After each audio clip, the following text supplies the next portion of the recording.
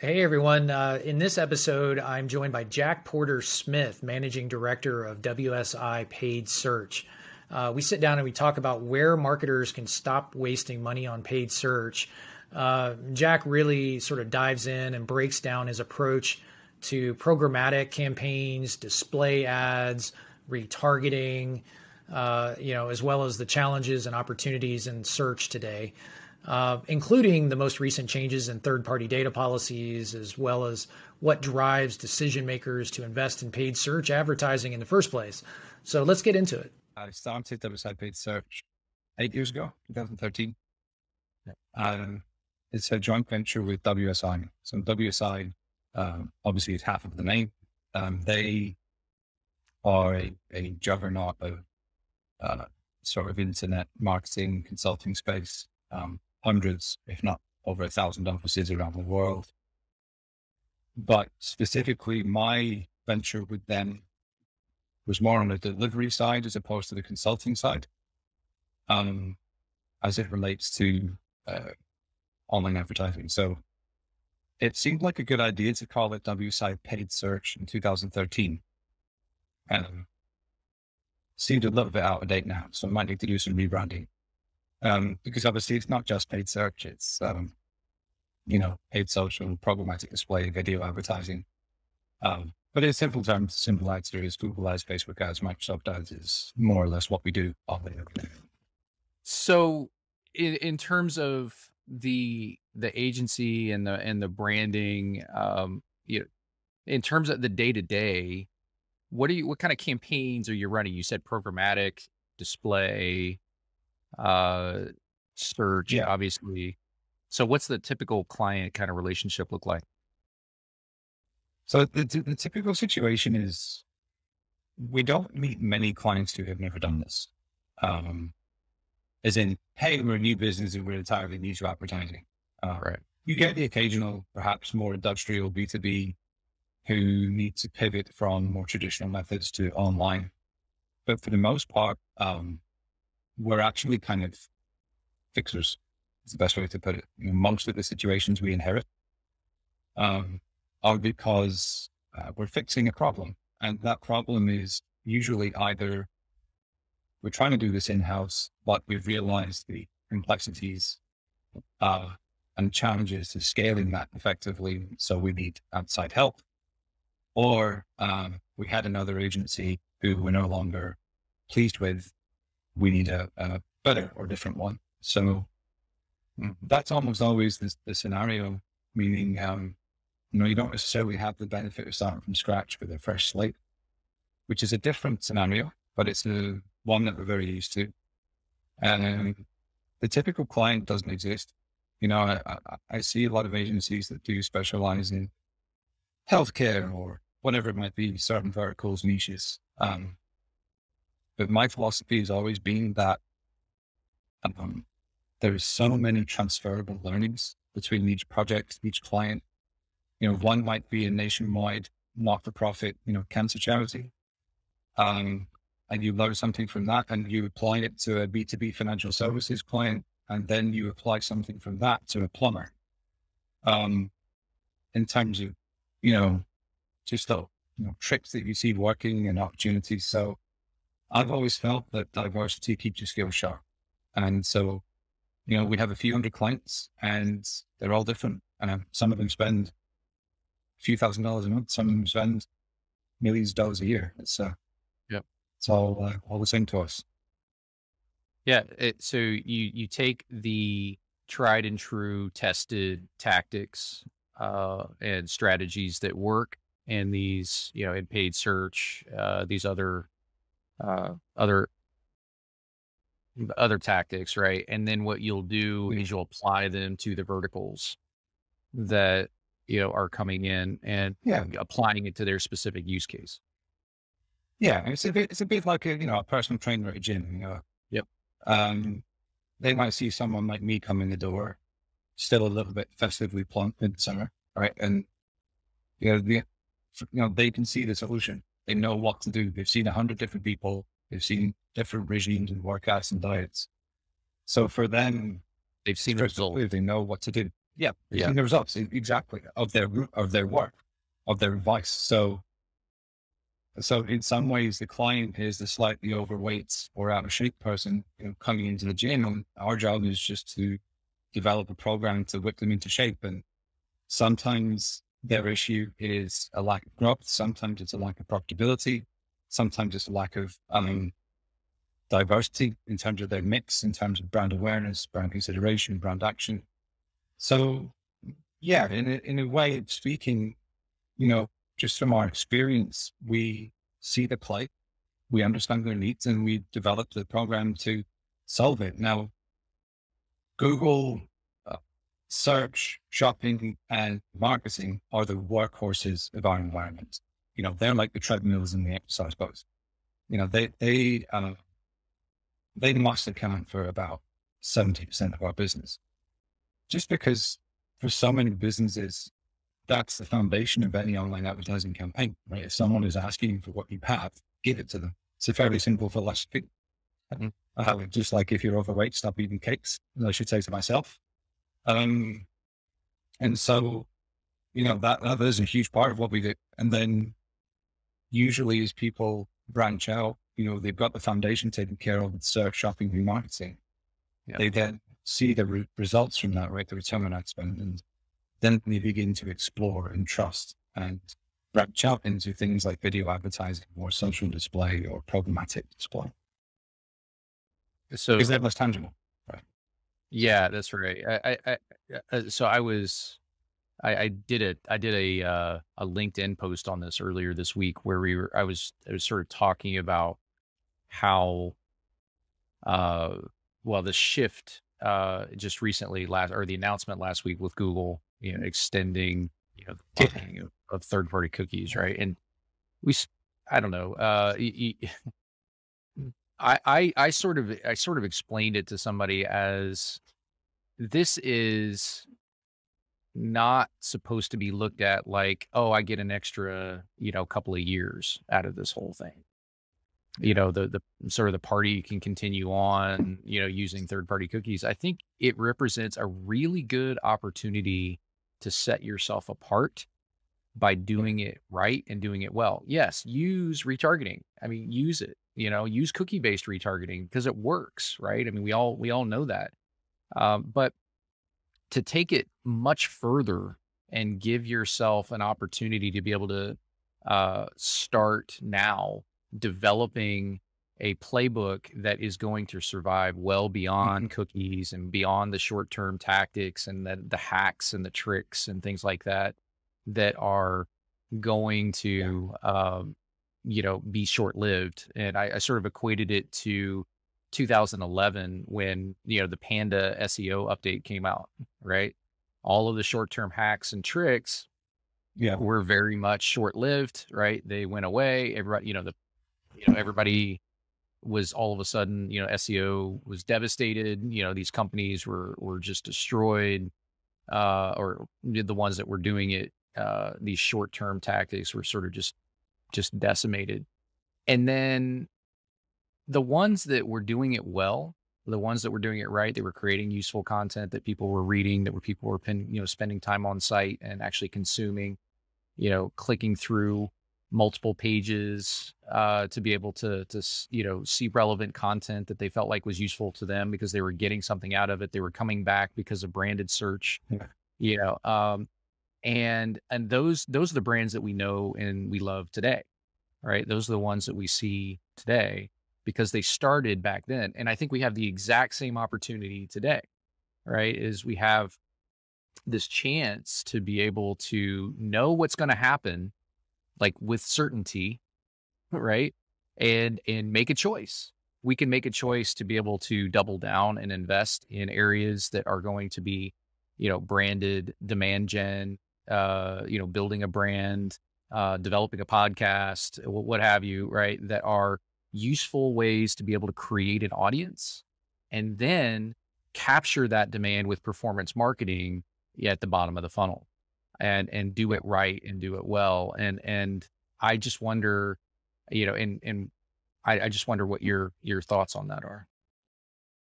No, I, I love that. And I think our brains work in very similar ways because the parallel that I drew from, well, would draw from the last 18 months of everyone panicking slash scaremongering about the death of third party cookies, which, as you said, is now, you know, basically delayed to the end of 2023, really, two years from now.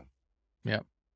Uh, uh, this feels so similar to in 2012, 13, when everyone started panicking about GDPR and uh, EU cookie legislations. Going back to then, and you know that's really when the sort of opt-in notices and everything like that started becoming required, and big fines started getting handed out.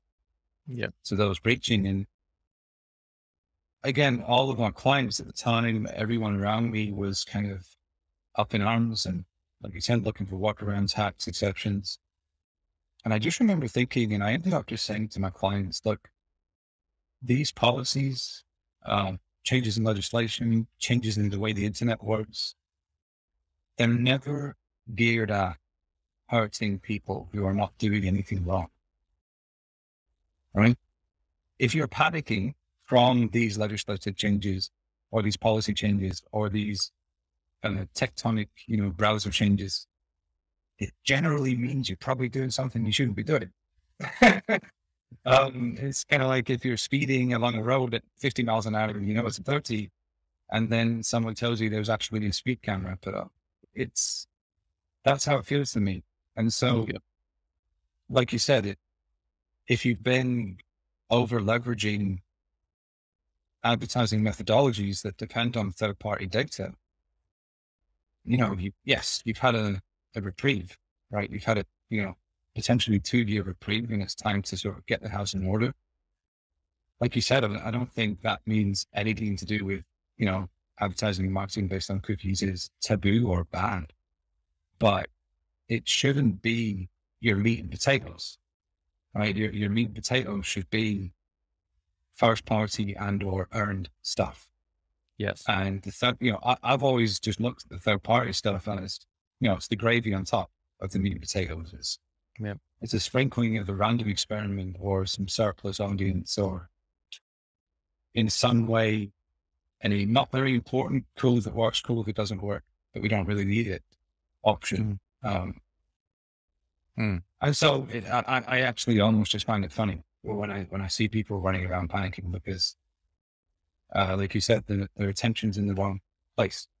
You know, instead of looking for ways to continue, uh, maybe not advertising in a privacy respectful manner. Uh, their, uh, you know, their attention should just be on how do we get cleaner in the future, right? Like as you said, it's an interesting time.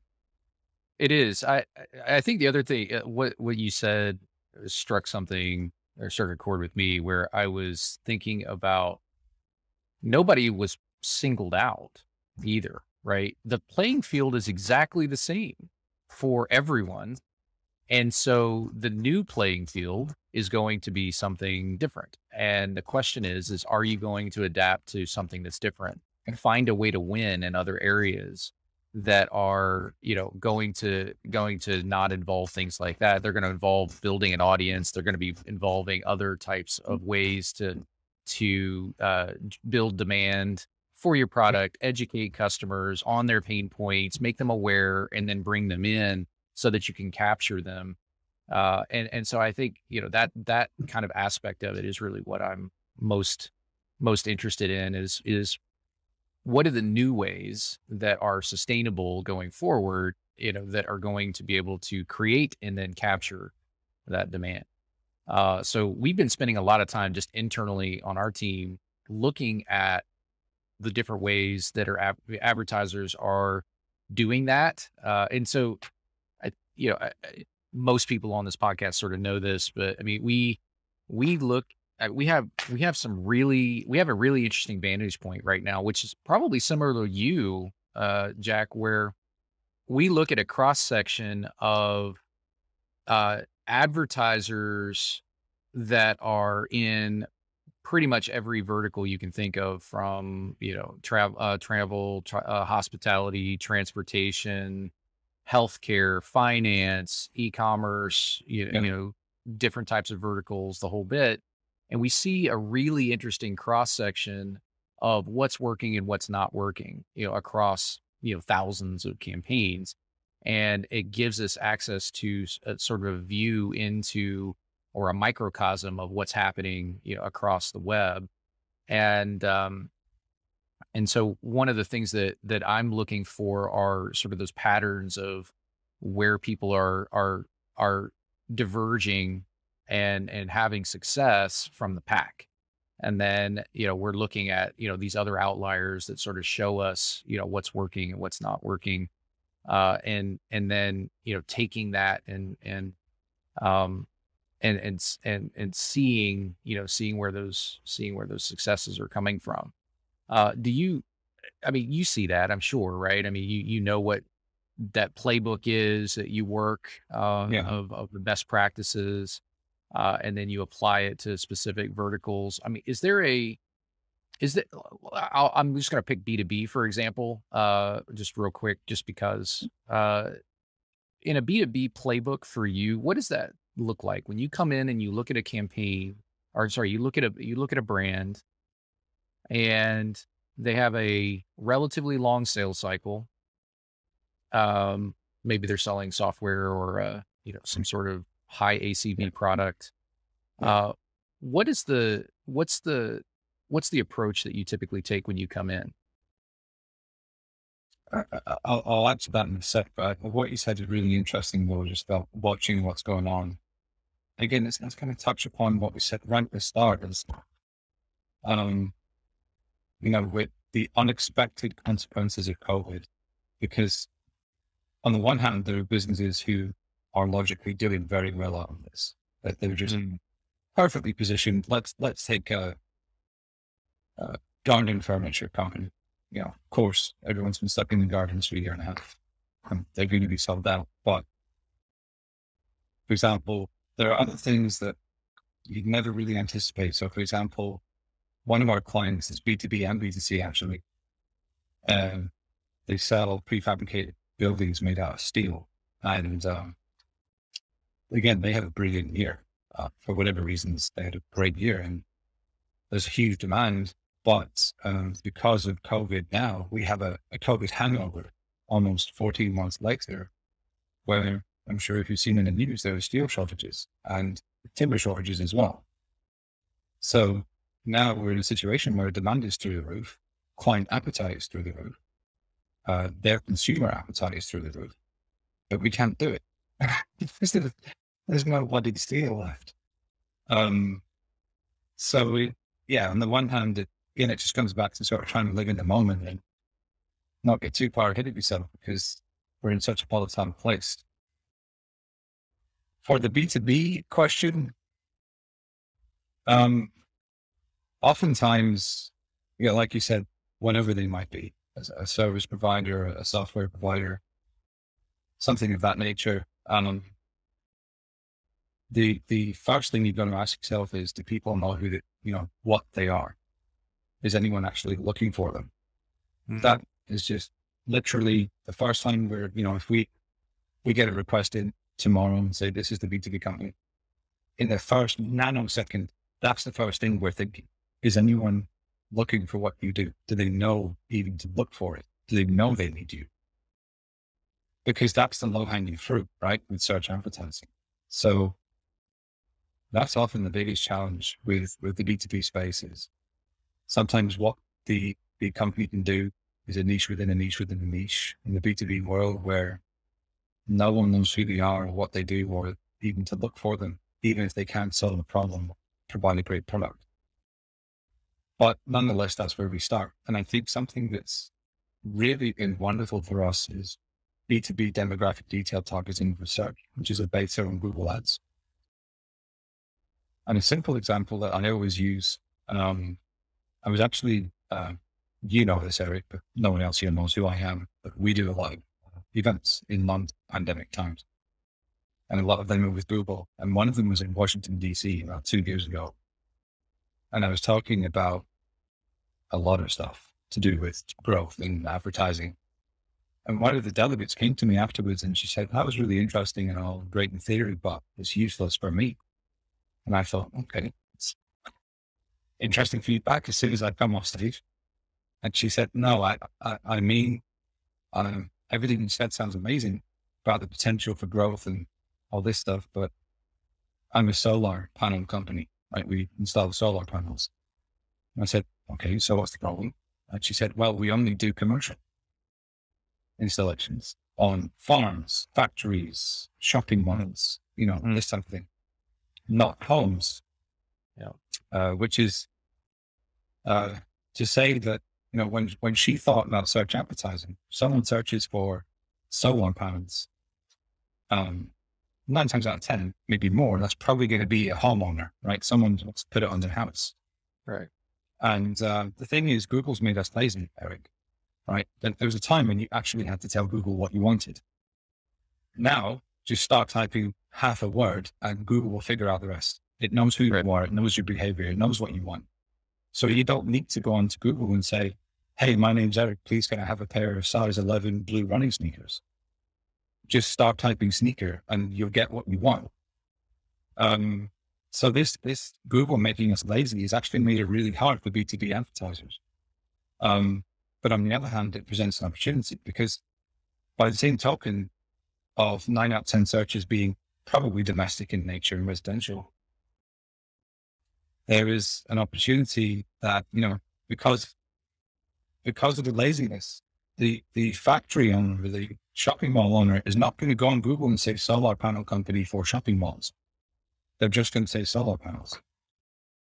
The opportunity we have though now with B2B is we can lean into unqualified generic broad search terms, which used to be the absolute no-no. Like if you did that, you would get fired from any agency or job. But now I think with the advances of uh, audience targeting layered with something like search advertising, it's very much realistic and possible. So with B2B demographic targeting for search, mm. this company could bid on just the keyword solar panel so they can stay in play with the volume keyword because uh, nobody searches for commercial solar panels. But then they can filter it to only show to people in, you know, construction, healthcare, manufacturing, transportation, whatever industries they want to serve. Mm. So that's been a huge game changer. And it's opened a lot of opportunities for these um, B2B organizations who have either overlap with B2C world or just a really obscure product. Yep. Yeah. So not a lot of search volume for commercial solar panels in Idaho, right? uh, but what you're doing is is you're overlaying against that, you know, specific audience targeting to be able to drive, you know, drive uh drive quality traffic specifically to a, you know, a dedicated you know longer form landing page right? Captures information etc and then i'm assuming you're just retargeting against them you know at five dollar cpms or something like that on both web and social uh exactly. and creating sort of a playbook around that right uh and then doing some exclusions to be able to make sure that you're having you know you're you're basically once you've captured them you know you can keep that messaging in front of them and then what does the retargeting playbook sort of look like? Is it are you driving them to a particular offer or are you driving them to additional content to consume? How does that how does that work? Maybe it just depends on channel, right? Depends a lot on channel and I think the nature of the client. Um, you, know, for example, with e-commerce clients, uh, it's more about the timing than necessarily uh, what you're bringing them back to. I mean, if they cart abandoned in the last 24 hours, fairly strong chance they come back to the same product page without any changes to the scenario. It'll do the job, right? But mm-hmm. Um, in some cases, yeah, you need to maybe be a bit more creative with and alternate landing pages or special offers to pull them over the line. Um, I don't know why I'm telling you that. You are you are the remarketing experts. yeah, yeah I, I, think I think it's interesting. So in my experience, it's based on both where obviously where they are in the funnel, you know, in the decision making process, uh, and then also by channel as well, right? So you're on for example, you're on Facebook, you're on LinkedIn, you, are not sort of in in buying mode necessarily uh, for a B2B product. I'm I'm I'm going to stick down the B2B lane. Yep. Um, so in based on that, what you're doing is is you're looking at it and saying, hey, there's you know a you know a reasonable chance that they're there to look at pictures of their kids or their their grandkids, right? Uh, not so much to make a purchasing decision around a piece of software, right? So, so really, the the the question becomes, what do you serve them? Because your perfect customers sitting on Facebook right now, right? Uh, anybody in B2B who doesn't think that Facebook is is a good channel for them has not had a good, you know, a good experience with either their agency or in house. But hmm. uh, eh, their customers are on Facebook. The question is, is what do you serve them and when and how? Uh, and you know, I think you know that's that is how you sort of have to look at it, right? You cannot look at it like it's like one size fits all. You got to you got to yeah. very specifically slice it up based on channel and based on stage and the funnel. Yeah, and we've actually so that was a point to carry on your Facebook B2B example. Like you said, they're, you know, they're not necessarily in the right moment to purchase because they're about to flush the toilet, right? Right. Like you just never know at what point would cost them. Right. Um, and um, so as an example, if your ask is quite heavy, right? Whether it's, uh, you know, you need to, you know, I'm, when I say ask, I mean the call to action of the original, uh, intent campaign, whatever it was that got them into your remarketing list. If that's quite a heavy ask, like maybe setting up an account, entering credit card details, purchasing something, whatever it might be, um, if you're remarketing on something like Facebook, for example, a, a, easy path of least resistance is just to run a Facebook lead gen ad, and all you're asking for is their email. That's it. It's like, hey Frank, saw you were checking out our software. You didn't create your account yet. Put your email in here and, you know, someone will be in touch at a better time. And that, that's a more realistic ask than click here and do everything we asked you to do the first time. But you're never going to do that because you're on your cell phone, like you said, looking at pictures of your, your grandkids. Right. Uh, on a train, whatever you're doing, right? Yep. Yeah, in, in, my experience, one of the things that we have seen that's that has um, just across most B two B advertisers is is actually bringing those people to uh, a you know they're showing them a video right and they're consuming that particular piece of content. They may click through to see something else and they save it uh, but more often than not, it's it's really upper funnel and awareness uh, rather than just trying to get them to click through, you know, to make a purchase. Uh, uh, now that really works for. I mean, I, I think I should. It's probably worth saying. This is for B two B. If you're talking about like a D 2 C brand, then yeah, you know, you're going to click through, and you know, if it's a quick, you know, relatively frictionless process, and it's a low average order mm-hmm. value, ticket price, or something, you can mm-hmm. you can pick up you know, a reasonably decent uh, conversion rate. Um, but if it's a, I need to get on a demo to see this product, right? then it's a completely different sale. And, and then what ends up happening is, you know, the, the types of content that you serve, you know, is, is applicable based on, you know, on those use cases. So, um, and, and what's fascinating to me is, is, you know, the, the, the marketers that we see using our platform, you know, they like the ones that sort of run that play um, uh, are are the ones that we are seeing that are winning.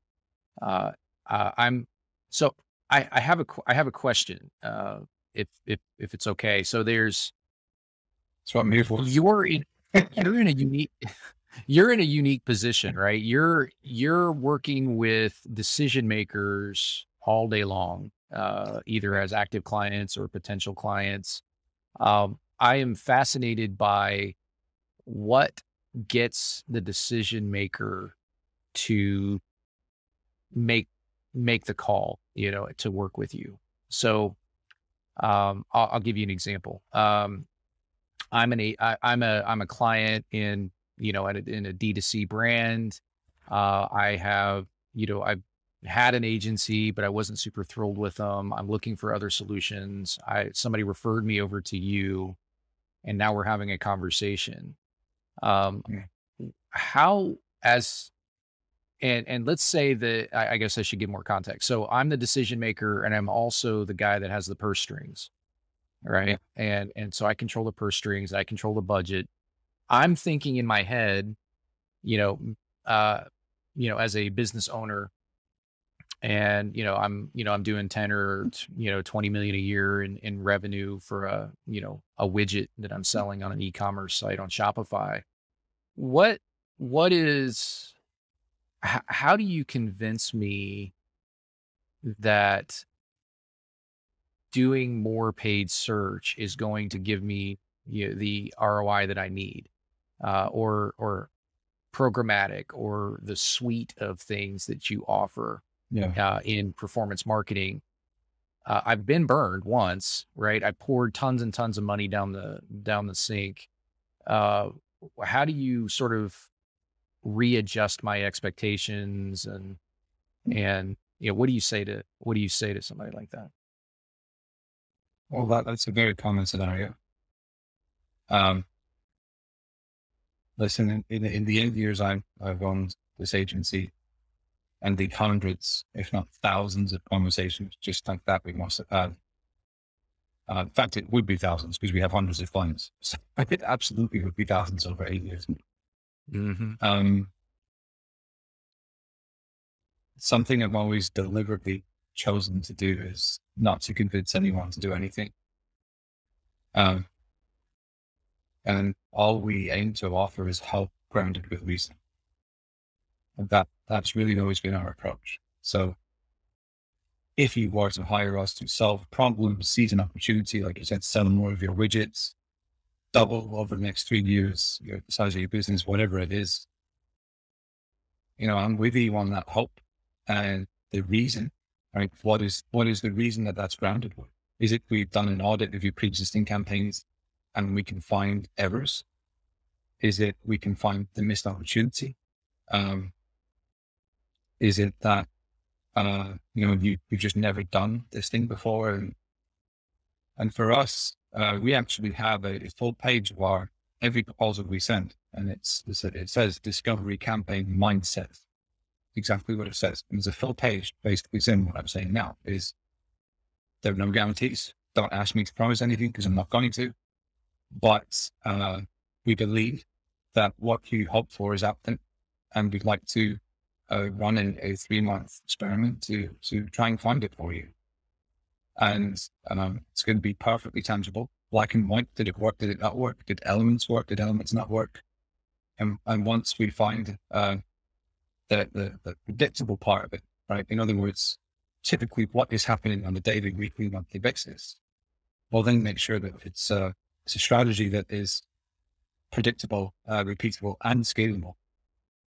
But quite honestly, Eric, I've never asked anyone to work with us, and I never will, because I feel like if you just present your best self and uh, help, you know, all comes down to the help, like we said at the start. Provide free consultations, execute free audits, uh, free research. Yeah. Um, and and oftentimes, like you said, it is about tempering down expectations. Um, one time, genuinely, just a real quick story. Yeah, someone came to us and said, "Hey, we're a, a super duper tech company we have uh, developed the world's most secure smartphone. And I thought, interesting. And they were like, future presidents are going to be using this. Every diplomat on the planet's going to be using these, you know, super secure smartphones. Wealthy people, important business people, celebrities. And I was like, cool. And they were like, so can you do develop a plan for us to sell a million units, please? I was like, uh, why do we sell a hundred first? Right. So, um, that, that's always been our mindset as well is listen, you can take over the world, but maybe let's try and, you know, do a village first. And, actually, I think tempering expectations down uh, is important and is, is what makes it an easy, non-threatening decision for people to work with us because everything we say is just grounded in, if not drowned in business logic and business reasoning. And uh, I think that's what people relate to the most is, is just seeing things from their perspective, but also making sure they're, they're having a realistic outlook. So there's so much to sort of unpack there, right? Uh, so the the the disarming approach of you know taking somebody who's coming to you and saying I'm got a problem and a pain point that I think you might be able to solve eh, are the the best clients that that you're going to want to work with, right? And so most of these people I'm assuming are coming inbound. These are not people that you're doing any kind of outreach to. It doesn't sound like you do that at all. Uh, uh some agencies do. Right. Yeah. Some agencies do. Some agencies don't. In your particular case, you're not. Uh, so those are the people that already know and recognize that they have a pain, right? These are the ones that already know that they've got a problem that they need solving and that they think maybe you're the one to solve it. And then what you're doing is, is you're giving them a very sort of disarming, uh, uh, analytical approach, you know, based on data and experience of what's working and what's not working. And then also, uh, perhaps separating yourself from the outcome, right? Uh, which you have, a, you know, a unique position to be in, right? As, as, you know, the decision maker in your organization. If you're talking about uh, a sales organization who is very obviously performance motivated. You know, they've got to they've got to schedule demos, they've got to close deals. Maybe it's an AE type position. That that approach that you are taking right there is is so hard to teach an AE. Uh, so an AE is going to go in. They're going to say, "I'm I'm I've got to I've got to close X number of dollars in MRR this this month, or I've got to close X number of deals this month, whatever their you know whatever their comp metrics are. And yeah. and you're saying, well, yeah, I have the same exact goal. I've got MRR goals. I've got number of deals, you know, those sorts of things to to continue to infuse and grow my business. But you you've approached it completely different. You said, okay, I am going to I'm going to sort of divorce myself from the outcome and just give the best possible advice. And then what ends up ultimately happening in that particular scenario, and I, I don't know what, you know, if you guys track close rates or anything, but in my experience, those, the opposite happens. Uh, and it's very hard to teach an AE, but if you, if you separate yourself from the outcome and you just help and provide advice and give them experience and give them context and color and, and case like case studies, not in the traditional format, but experience based case studies of something that's happened good or not good with a particular client in their situation. What ends up happening is you build credibility in the in the conversation, and then what ends up happening is you end up winning that person's trust and ultimately closing that more of that business than you would if you're following a callback cadence.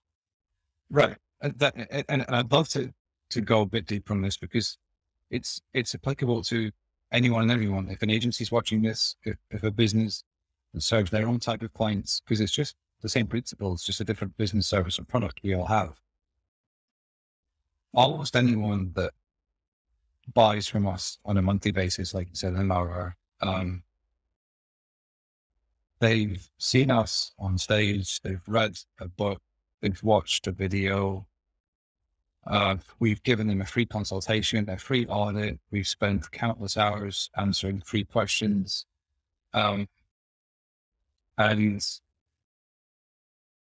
one time, I, I, we never asked for anything. That's the thing. They're always waiting for the catch, and it doesn't exist.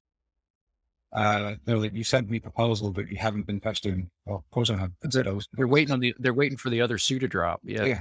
Yeah. And um, uh, but for us, it's just in our DNA. We didn't even do it on purpose. It's just who we are. Just help people. Good things will happen, right? The bank of goodwill. But one example that I I'll never forget is there was this company that I've been helping, and I'm in a lot of questions. just needs and challenges. And so we got friendly, met at conferences, saw me on, you know, stage a few times, met a lot of my team members, blah, blah, blah. And, uh, and one day I happened to be in Toronto, uh, where they are, where they're based. And uh, I was taking a large group out for dinner. Again, not with any agenda. Wasn't going to ask for anything. And I specifically put in the invitation, do not talk business, right? Uh, just relax. And um, so he's, he happens to be sat next to me at, din- at the dinner table after about four hours of cocktails. And he just said to me, Jack, why are you so nice to us? Like, we don't buy anything from you. We don't make any money for you. We don't, you know, have anything gone with you. Um, and you've never asked for anything. And said, you'll see. Uh, I'm just developing a relationship. Um, and, uh, he just couldn't understand. him. Like, why? He literally said, why are you being so nice to us? Just because I bought him dinner and a couple of drinks. Mm. Um, fast forward to today. Again, I've never asked him for anything. They now spend uh, 30 grand a month with us. Yeah. Um, Yep. And that's not to sound like any devious strategy. It's quite the opposite. Just be nice. Yeah. Help people. Don't need to ask for anything. It'll come. Yeah. Mean, Of course. Everyone. I, I, I, that, that approach is very difficult to justify, you know, when you're, let's say you're series A funded and you're trying to grow really fast and you've got people Yeah. you know, really aggressively trying to grow a business, uh, and scale, uh, and, and taking that, like sort of taking that, that approach that you're talking about where it does take a little bit longer. But in my experience, uh, what tends to happen in a situation like that, and, and the thing that you sort of, I think I want to highlight, you you sort of skip past it. Uh, uh, it went to the the dinner sort of uh, point, but you did a whole lot of things before that. You were speaking at events. You were talking to them. You were giving them advice. You were developing content that you know specifically address their particular needs, their particular issues. And you were creating that demand well before they ever had their first conversation with you, right? Yeah. And then they had the conversation with you. And and and that conversation was one that set you up as the authority, you know, with credibility. Um, it it sets the table completely different. Yeah. Uh, when you're trying to, you know, when you're having a conversation um you know and then you just you just took it further you just went you know Yeah. you went the extra mile with the dinner and, and everything else Ah, because- yes, for sure. yeah so The important so thing that- is that, that is true, but like, and I get that it's a fairly extreme example. You know what I mean? But even Mhm. to, to, to take your point, well, you know, some people might be listening, thinking, well, that's nice for you, but you know, like you said, we've got targets, we've got Yeah. volume, we're funded. The approach still works. Believe me, I haven't sat here not growing my business for eight years. Um, and so, uh, especially as if you're a you know founder of a small business or a small team, and then you begin to grow out your business development team around you, um, Yeah. they need to uh, adopt your philosophy and your approach and shadow you for a long time and go through all your SOPs. But what, what what I'd like to say is, you know, listen, like any other business, we're we're here to grow. Uh, are, are the people we surround ourselves, and, and Yep. you know, so for example, we do no nothing cold. So every conversation we ever have is warm, um, one way or the other. So for one example, we practice what we preach, right? We run search advertising for our search advertising services. So if somebody searches for Google Ads agency in North America, I guarantee you they will see an ad for WSI paid search. And so they go into our funnel, right? Into our sales pipeline. And just like any other business, that pipeline has about 15 different stages. They need to be updated and they, and they need to have outcomes. Yep. So once someone is into that funnel, they've said, Hey, I want to work with you. I mean, you best believe we're efficient. You'll have your consultation within a matter of hours. You have your proposal with well thought out research and audits and recommendations within a matter of hours after that. And you're going to have lots of compelling reasons, hope backed up by reason to convert. So Yep. it, it still works at scale and to a system, but it's not that kind of what you're describing, sort of high pressure, outbound, push, push, push, twist people's arms. Because if you get it right at the very start, before the funnel even exists, the damn thing closes itself. Yeah. Right? You, you and I are so, oh, we're in so much alignment. I can't tell, tell you. Uh, so, so here's the thing, like just, just run the math, right? Uh, anybody that's listening, uh, just run the math. So you have an outbound motion. The outbound motion is, you know, uh, SDRs cold calling people who are sort of, you know, uh, uh, uh, they're not intent. Uh, even if you're layering in sort of intent data, um, you know, that's a whole different discussion about intent data. But the, you know, the outbound motion of calling people and just playing the playing the numbers. Uh, I'm going to get, you know, a two percent, two and a half percent, three percent uh, lead to demo attend ratio, and I'm going to close X percent of those. Those that math is is only doable if you have a really high LTV, high ACV type product, right, or service. Um, and it works, you know, for enterprise, and you know the math makes sense. Uh, but when you have a a lower LTV, lower ACV product, uh, or a product led, you know, kind of kind of product, you, you you've got to have some or service. Uh, you've got to have something that is going to be able to bring people to the door at scale and be able to, you know, ever. I mean, those just again run the run the same math equation you know you've got a certain number of demo requests that are coming in or free trial starts to your product you know you're converting those because they are high intent. These are people that are actually raising their hand and saying i'm interested in that thing you've got because i think it might solve the pain point i've got. And and they are coming to you with that problem. All you have to do is answer their questions and give them the same kind of uh, consultative, you know, approach that, you know, that they're sort of used to, you know, with your brand to begin with. And what ends up happening as you play it out in the math, you're closing at a higher percentage, much, much higher percentage, you know, in the 20s, 25% plus range. And you're closing faster because they're already motivated and high intent. And so what ends up happening is they close faster, your sales cycle is shorter, right? All of a sudden, you have this entire uh, uh, model running, and then the question becomes, how do you scale it, right? So you already know that those inbound demo requests and and uh, you know are going to be the best ones.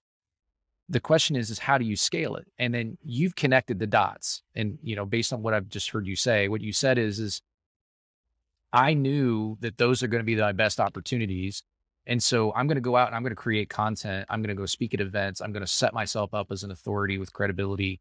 I'm going to help people with, you know, uh, webinars or what have you, right? You know, that, that delivers value at a one to many kind of scale.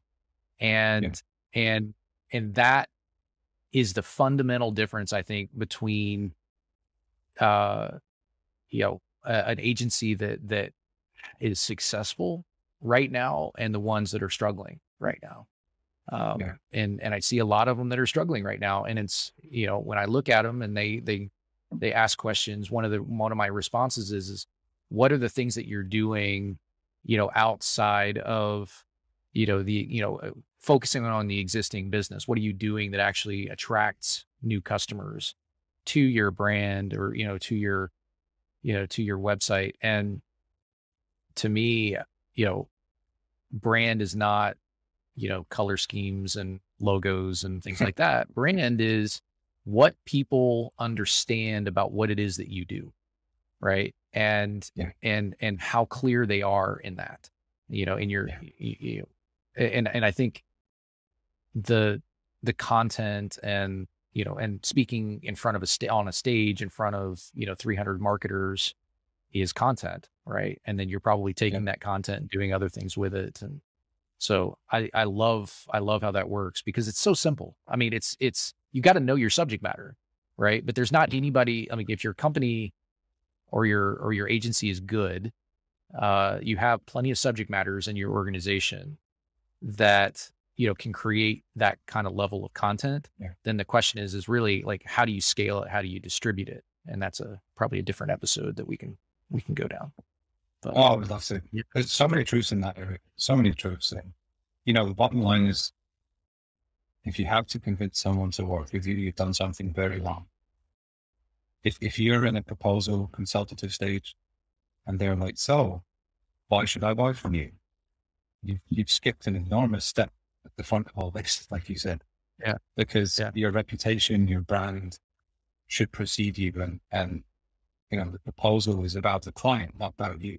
Um, and to your point about scalability as well, you know, the best proof for me that it works is, um, you know, obviously when we started out, it was just me, but when we hired our first advertising strategist in the business development department to do everything we're talking about doing, right? Um, servicing leads with whatever they need and uh, closing opportunities his closing rate in his first quarter company was 28%. And, you know, that's with us not even trying. You know, if we wanted to, that, you know, if we wanted to do all the hard stuff on top of that, I'm sure it could be 40, 50. Yeah. But with this so called soft approach, still 28, like you said, in, and you said 20, mid 20s. So it works. But like you said, I think that the moral of the story here, you know, to wrap up this enormous tangent is interesting tangent I might add is uh, you, you can't just buy your way out of a, of a hole. You can't just buy your way into a market. You do have to earn it. And then yeah, the closing part is a lot easier. Yeah, I oh we we could spend so much more time on this and I know we're cutting you know we're we're we're on the end of it. But I I uh I honestly think we should get back on one of these and we should talk more about what that looks like because that right there Mm-hmm. another two hour conversation about Yeah. you know how do you how how do you take uh and build demand you know how do you take and build and then uh build a machine that captures that demand and turns them into you know closed won deals um uh, how do you take them and turn them into clients you know how do you take them and turn them into you know customers that are you know that are that are um you know going through a, a an onboarding process you know whatever the you know whatever your particular um success metric is uh and i want to talk about that and then i also want to talk about how you when you talk about roiing your services i want to talk a little bit about that too. I want to dig into that question so Mm. maybe maybe this is actually a good place to pause. We're not going to call this the end of the episode. We're just going to call this the gonna pause. Yeah, this is the intermission, and we're going to come back with a different episode. We're gonna we're going to dive into a couple of those things because I'm I'm fascinated by how people that are doing it right, um, like how they approach, you know, how they approach it and how they sort of lay it out. We can we can dive into that. That'd be fun. I'd love to. I'll- Thank you for listening to part one. Yeah. Jack, Jack, this has been a lot of fun, man. I I've really enjoyed it, and uh, thanks for thanks for spending some time with me. I appreciate it. Uh, my pleasure. You too.